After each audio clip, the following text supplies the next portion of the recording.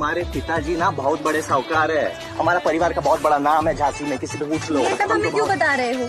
कोई तुमसे पूछेगा तुम्हारा पति क्या करता है? क्या जवाब दोगी? पति? हंस क्यों रही हो? दिमाग झांसी छोड़ के आयो